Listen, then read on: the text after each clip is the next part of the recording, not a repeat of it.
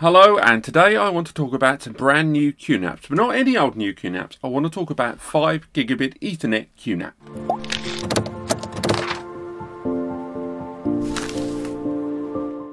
Now, for those that have been following this channel, NAS Compares, the other YouTube channel, Span.com, and any one of the myriad of ways that I like to talk to you guys about network attached storage, you will know that I've highlighted that QNAP have unveiled two new 5 bay NASes. These two devices both feature 5 gigabit Ethernet, and although they are new to the scene, I think it would be unfair to call them new NASes. These are the TVS951N and the TS963 in. These are two devices that in a kind of a way have already existed. A little while ago, I said a little while ago, less than a year ago now, the tail end of 2018, um, QNAP uncovered a bunch of new 9-bay NASs for everyone, and me, just like everyone else, when we heard 9-bay NAS, we all went, hang on, what? Um, because 9 is such a weird number. But as it got closer and closer to its full reveal, it became ultimately apparent that these are NASs that have got 5 hard drive bays there based on the front and 4 SSD bays, with these SSD bays enabling things like general SSD caching to Q-Tier, QNAP's own smart intelligent uh, tiering system of storage, as well as allowing you to utilize these 4 SATA 2.5 inch bays to create fast RAIDed storage that could be used for much faster access. Now, on top of that, both of the, uh, the or the whole family of 9 bays that were released last year, and that is the 951X, the 963X, and the 932X, all three of these featured 10 gigabit Ethernet, and they all featured a different kind of 10 GBE and basically a different structure and architecture. Now, the ones we're going to focus on today are the 951 and the 963. The reason being that these are the two that QNAP have decided to release as a new version with 5 gigabit Ethernet instead of 10. Now, both of these devices featured copper based Ethernet, that is RJ45 or base T and both of them originally arrived with 10 gigabit Ethernet ports. Now, QNAP can see the way the wind is blowing, and definitely last year I was one of many, many people that was talking about just how big, big, big 10 GBE was going to be because of its cost getting low, low, low, and it has. But there's still no denying that a number of people who are living on the 1 gigabit Ethernet line might have seen the price of 10 GBE coming down, but thought, mm, not quite yet, and they weren't ready to make the jump. They needed new hardware, but 10 gigabit Ethernet storage just didn't interest them enough. It didn't sit the sit with them as uh, a, a, very um, natural evolution at this time. They thought 10 GB was still too far off to invest in it now for them. But with QNAP investing more and more in 5 GBE and multi-gigabit solutions, as well as, of course, the QNA UC5G1T that we featured on the channel a few times, it almost becomes natural that QNAP have now looked into these 5 gigabit Ethernet solutions. And these two 9 bays are the two biggest examples of that. Mad Seagull there in the background, gotta love the seaside. So, the 951X is kind of their graphically enabled 5 gigabit solution, sorry, the 951N. Now, these devices, both of them that we're going to talk about today, are um, 9 bay devices. They're, once again, Five hard drive bays, three and a half inch media inside them, and of course they do support SSDs as well, and these support up to the very latest 16 terabyte IronWolf NAS hard drives. On top of that, the four SSD bays support the very latest SSDs, and again they support IronWolf SSDs, they support Samsung SSDs. You've got a great way to have different kinds of storage. Both of them, the 963N and the 951N, give you that. But after this, things change because both of them arrive with one 5 GBE port and one 1 GBE port but the architecture and the intended user situation for these devices is very different. The big clue is that one of them's TVS and the other one's TS.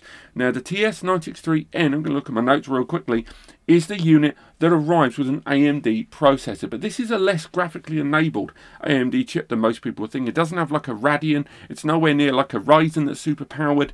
It's the, uh, the GX420MC. This is a much a fast-acting processor that's less geared towards graphical manipulation, but it is a great file handling CPU and all that uh, for, from the guys at AMD. And although it isn't like an x86 64-bit in the Intel sense of the word, it is the AMD equivalent with the added bonus that you are getting great, great performance and a lower price point than a number of other devices. And that 5 GBE is being treated in a much more affordable way than you would expect from you know something that's been downscaled to uh, from a 10 GBE to a 5 GBE. I know that sounds a little bit confusing, but what it comes down to is QNAP have looked at this 10 GBE solution and maybe it didn't sell as well as they hoped. Maybe they've realised that this hardware is way too much up here and there's people down here that just aren't buying it. Um, in every sense of the word, that a 5 GBE solution, as well as the adapters that allow you to create a much more modular network across your home or business environment, suddenly becomes very, very appealing to users. Now, the 963X in its AMD CPU there, which is a 2.0 GHz CPU quad core and 2 gig of memory that can be upgraded up to 16 gig of memory. This device does not have the likes of HDMI because it's not graphically enabled. It's got uh, the audio out socket there on the rear, but this is a file handling machine. And although it does promise uh, lower tiers of virtualization, it's nothing compared to what you'll get with a solid Intel moving forward. Whereas the TVS 951N that has got that 5 GBE, and on the face of it, when you glance at them, are incredibly similar. But when you look at the rear of it and see that it's got an HDMI port and HDMI 1.4B, and on top of that, a 7th gen Intel CPU on the rear that might be dual core, but it's still a great little CPU inside. And again, uh, the handling of the networking on the rear is in Aquantia CPU. I think it's the um, the 111C. Hopefully on screen it should tell you more. But the CPU inside it is still an Intel. Now, the CPU found inside, so I'm going to quickly scroll to my notes there, how terribly unprofessional. Um, that is uh, an Intel Celeron 3865U. And I know a number of you aren't exactly going to be jumping around the houses at that processor. It's not like a high-powered Celeron. It's not, I mean, it is a Celeron, but it's not really like some of the J series we've seen. But in many regards, it's actually better. And this dual-core CPU got 1912 on CPU benchmark, which for a dual core is pretty impressive, given that that J3355 that we've seen knocking around only scored around 1500. Now, that NAS, the 951N, is far more geared towards graphical manipulation. Yes, it's a dual core, and in terms of virtualization, it's going to be a little bit limiting, but in terms of surveillance and the fact that it's got QVR Pro support and those eight licenses, as well as support of things like um, QDupe or QDedupe or whatever, however one pronounces it, and of course some of those home applications like QuMagie file orientation, multimedia console for managing your entire multimedia library on that more graphically enabled NAS, and of course all the other applications currently available in 4.4.1.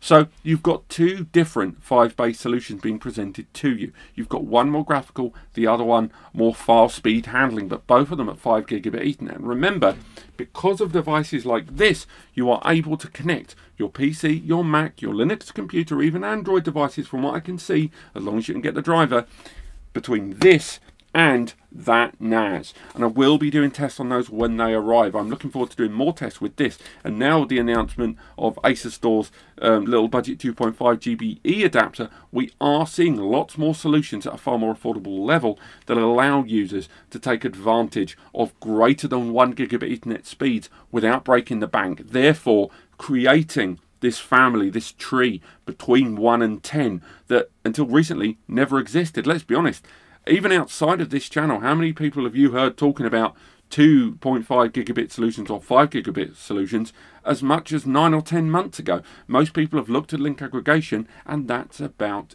it. Thanks to devices like this, you can definitely shortcut your way onto faster platforms or if you've got existing 10 gigabit Ethernet platforms, you're able to bridge the slower devices that have only got 1 GBE without breaking the bank and only spending a little bit now and buying a few years of time out of them. And that's why these 9 bays are quite important. I keep saying, do you know, let's call them 5 bays with uh, bells and whistles. Now, the prices of the previous generation will obviously be higher than these. Although they look remarkably similar, that connection on the rear will make all the difference. And I'll be very interested to see how QNAP land on the price point on these devices, particularly given that we're seeing this trend towards 2.5 and 5 gigabit Ethernet solutions becoming if not the standard, then pretty close indeed. So if you have enjoyed this, if you want to learn more about these products, go into the description for the full breakdown and specifications on both of these devices at NAS Compares. If you want to register your interest or get one, because these devices have always got a very, very low stock when they're first released. It's always the same. Do go to the guys at Span, and NAS experts, to get your order in now, or just ask some questions about it. Otherwise, thank you so much for watching. I hope you've enjoyed this. Do click like and subscribe and click the bell if you want to be more notified about some of the big, big, big things, trust me, happening in the next few weeks in the world of NAS with at least two of these brands. I hope you've enjoyed this. Don't forget to click like and subscribe as I say, and I'll see you next time.